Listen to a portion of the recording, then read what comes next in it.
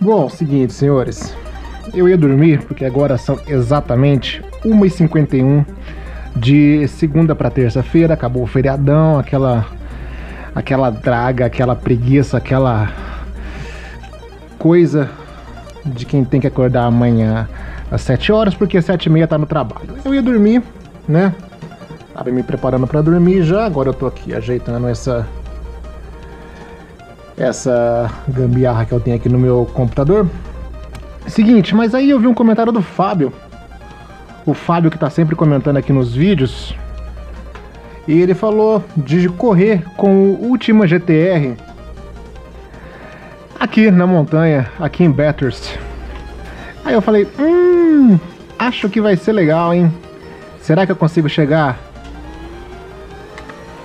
a 300 por hora na Crown, na Crown, Crown, Crowner Street, que é uma retona, reta oposta ali, umas três curvas antes da reta principal? Não sei. Então cá estamos nós para talvez seis voltinhas em Bathurst. Por quê? Por que não, né? Quando você se perguntar por que, que eu devo fazer isso, você pensa, por que não fazer isso? Então, às vezes, bate um arrependimento. Bate, óbvio que bate. Mas a vida é feita de arrependimentos, né? Amanhã, às 7 horas, 7 e meia da manhã, eu vou estar bravo porque eu fiquei aqui até as duas e tanto gravando vídeo? Provavelmente. Mas o que importa é hoje. Pode ser que eu não acorde amanhã. Pode ser que esse vídeo nunca vá, vá pro ar. Então. Né? É isso aí. Não sei, já me perdi no pensamento. E vamos embora. É o seguinte, em termos de configuração, são, acho que são seis voltinhas aqui. É, são as mesmas configurações da última corrida com esses últimas aqui. Últimas, última. Au, meu Deus do céu. Na, na pista de Suzuka, que eu gravei no último vídeo. Uh, só que eu coloquei 107% de dificuldade. Por quê? Porque eu sou bom demais, cara. Depois da minha vitória em Daytona, eu atingi um novo nível que nem o Pierre Gasly tá tão empolgado assim que nem eu tô. Ó, vamos ver quanto que eu chego. 387, 88, 390. Ai meu Deus, que olhando esqueci de virar. 390 e tralalá. Talvez chegue, talvez chegasse se eu tivesse um setup decente. Mas caramba, delícia demais. Essa retinha é louca, cara, porque ela tem aquela curva pra direita antes ali, de ter uma freada de verdade. E ali, meu amigo, se tiver com um pouquinho menos de asa, o carro vai embora. Ui, ui, ui, ui, ui, achei que eu ia rodar. Eu passei o o freio mais para trás do que eu deveria, já senti isso aqui. Então tô freando que nem uma, uma vozinha dirigindo a Belina Verde. Belina Verde Oliva. Indo no no atacadão comprar verdura, porque quarta é dia de comprar verdura. Então a gente vai de boinha, porque a habilidade já não ajuda também. O carro continua igualmente delicioso. Opa, meu querido. O carro continua igualmente delicioso, o que prova que esse carro realmente é bom. E a pista de Bathurst, ela é interessante, mas ela é manhosa, né? Ela é au, complicadinha. Por exemplo, os caminhões que eu gravei uns dois vídeos atrás. Não gostei muito, não. Meio que foi mais legal pela pela coisa pitoresca. Ui, eu tô ficando para trás já. Vamos concentrar aqui. Quantos reais vocês apostam que eu vou bater até o final da sexta volta? Aposto 2,99.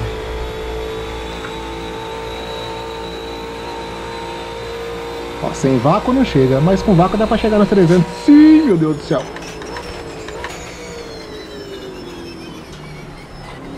É aquilo. O freio traseiro ele é mais eficiente que o freio dianteiro. Muito dianteiro. Mas se ele tiver muito traseiro, você tem que, que começar a frear muito cedo, porque se você frear mais em cima da curva e colocar mais pressão no freio para o carro parar logo, sua traseira vai embora. E aí já era. Ó, ei, laia. Uh, uh, uh. Essas estacionadinhas que dá. Se fosse no iRacing, eu estaria chorando no guardrail ou no muro, no caso aqui. Mas no AMS2, elas são um misto de bife acebolado da mãe com coxinha de frango com catupiry da cantina da escola. Uh, uh, uh, opa. Calma.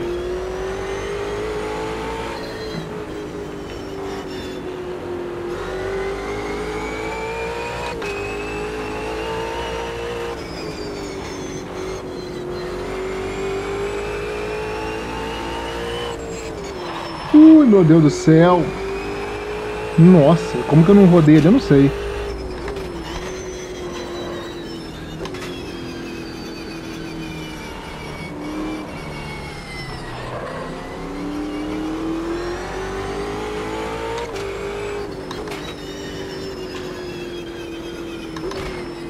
Essa curva aqui que eu... Au, achei que ia bater. É difícil fazer ela certinho porque você precisa valorizar muito a saída dela. Coisa que eu não consigo fazer sempre, porque ela dá pra essa retona aqui. Opa, meu querido, você vai pra fora da pista, eu vou seguindo você aqui. Uh, muito bom. O pneu vai esquentando, né, meu amigo? Pneu quente aceita qualquer coisa. Fica lindo para segurar esse carro. Um toquinho, um toquinho. Ó, muito gostoso. Momento aqui uma que uma das minhas luzes ficam piscando ali, atrapalhando a estética do meu vídeo, que é a única coisa boa que tem nesse nesse canal é a estética que eu consigo colocar às vezes nos meus vídeos. Aí, se não tiver nem isso, por que que vão entrar aqui para ver esse doido que corre há 20 anos em simulador e há 20 anos é ruim? Por que que vocês vão entrar aqui, né? Calma. Assim.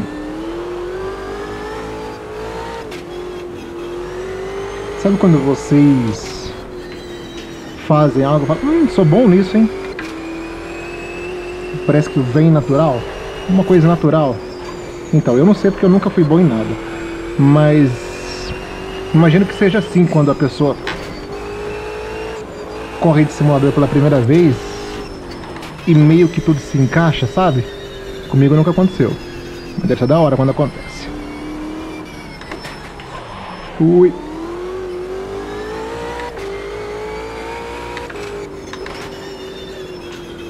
A, ó, acendeu a luz de novo. A parte boa é que pensa assim. Se o turco, que é ruim pra caramba, consegue se divertir, eu também consigo.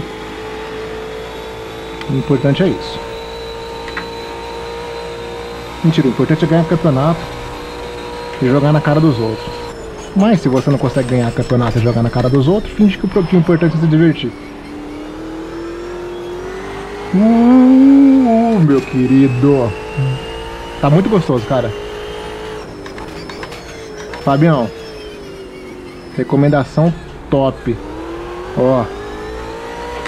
Esse carrinho vou te falar também. Até em Mônaco deve ser legal.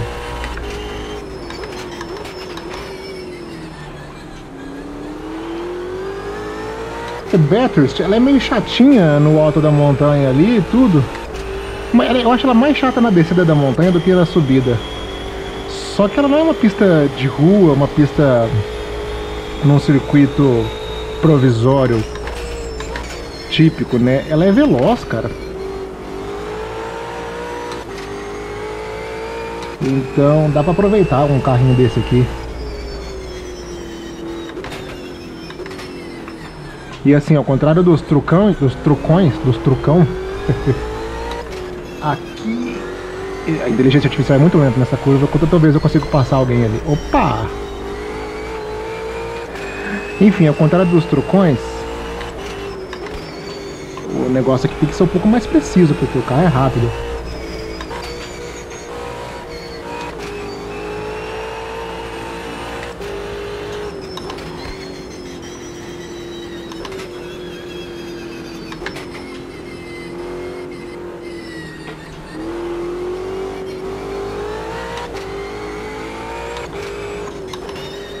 A descida aqui não é muito interessante.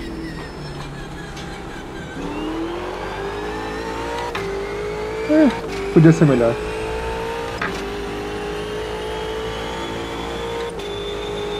Vamos ver quanto que pega. Tem que dar uma esticada assim. Vamos ver se eu consigo colocar a velocidade depois. 100, 290. Ah, chegou a 290 eu acho.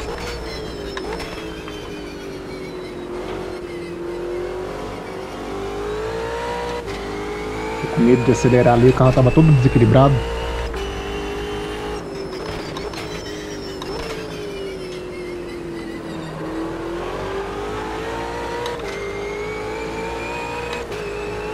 Muito bom, muito bom.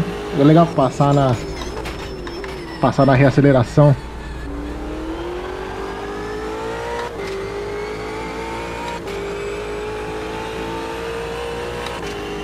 As únicas coisas que eu fiz aqui de setup foi colocar um pouquinho mais de asa que tava, passar o freio mais para trás e ajustar o a calibragem do pneu, além do combustível, né, óbvio, combustível não conta. Calibragem do pneu, como eu queria um carro um pouquinho mais traseiro, para ser um pouco mais arisco na hora de de embicar para curva, eu aumentei um pouco a calibragem na traseira para deixar ela um pouquinho mais solta. Eu vi que isso ajudou a impedir que o carro saísse um pouco de frente. Que eu senti, eu acho que ele estava saindo de frente. Numas voltinhas que eu dei ali. Eu, não, eu tenho uma dificuldade atroz em saber se o carro sai de frente, se o carro sai de traseira, se o carro sai da pista, que às vezes eu tô dirigindo, o cara fala, não, turco, você tá fora da pista. Pô, cara, não percebi. Saiu da pista, eu não percebi. Imagina sair de traseira e sair de frente. É, mas dentro dessa limitação gigantesca minha, eu achei que estava saindo de frente e eu acho que resolveu, ficou bom. Tô conseguindo até acompanhar aqui, ó. Brinca, brinca com o turco. Aqui é, aqui é talento puro, meu amigo. Aqui é Ó, mas não chega, hein? A asinha ali. Ui! Acho que eu exagerei um pouco na asa. Uh, uh, uh. Muito gostoso, senhores. Recomendação. Ah, não, não, não, não, não, não, não, não. Ui. Desculpa. É isso aí. Recomendação do Fabião, muito legal. Ele colocou ali, vamos fazer esse carro subir a montanha. E a gente fez subir a montanha aqui. Eu ver em que posição que eu fiquei. Cadê? Ih, parou de funcionar? Não tá funcionando. Não sei o que aconteceu. Talvez nem consiga colocar esse... Ah, que coisa. Não sei. Enfim, senhores, não vamos saber a posição que eu, que eu terminei. Deixa eu ver. Ah, dá pra ver aqui, ó. 12 segunda posição.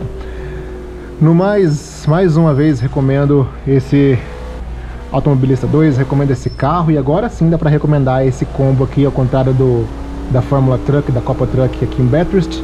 Esse aqui dá para recomendar porque ficou muito legal. Senhores, Mais uma vez, obrigado pela audiência, obrigado pela paciência, obrigado por ter assistido as minhas barberagens até o final e a gente se vê muito em breve em mais um vídeo aqui na garagem do Turco, beleza? Falou pessoal, tchau, tchau.